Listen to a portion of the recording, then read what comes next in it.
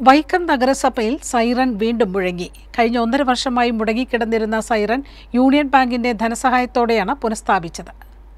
വൈക്കം നഗരസഭാംഗണത്തിൽ vice chairman P T സുഭാഷിന്റെ അധ്യക്ഷതയിൽ നടന്ന യോഗത്തിൽ ചെയർപേഴ്സൺ പ്രീത രാജേഷ് സൈറന്റെ സ്വിച്ച് ഓൺ കർമ്മം നിർവഹിച്ചു.